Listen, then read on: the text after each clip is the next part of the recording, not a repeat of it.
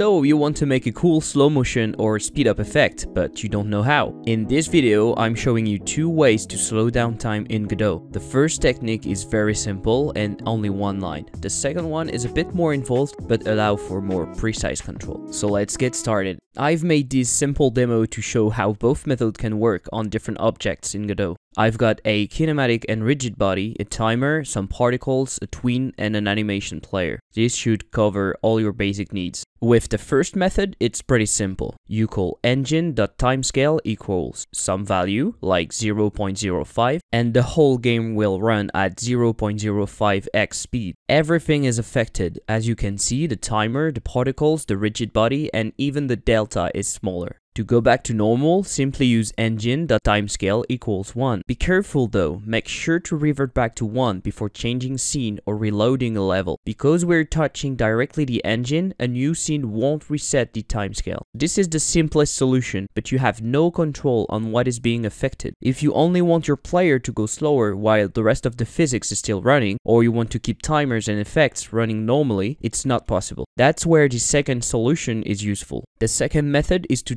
directly control the timescale for each object. I'm going to demonstrate how to do that for the kinematic body, the particles, the tweening, the animation player, and finally the timer. Unfortunately, there's no way to do that for the rigid body, at least that I'm aware of. If you have a solution for that, please leave a comment below. Slowing down a kinematic body is pretty simple. Because its movement are based on delta, you just need to scale delta by your slowing factor. So if you want to half its speed, multiply delta by 0.5 and the movement will be 2 times slower. This is cool because for example, you can run the physics process at half the speed but keeps the effect and inputs in process at normal speed. Now for the particles, we're lucky there's a built-in way to affect speed by changing speed scale. We can even pose the particles by setting it to 0. Same thing for the tween, by changing playback speed, we change the tweening speed. And same as before, setting it to 0 will pause the tweening. Another simple object to slow down is the animation player. You can directly set the playback speed property, and again, setting it to 0 will pause the animation.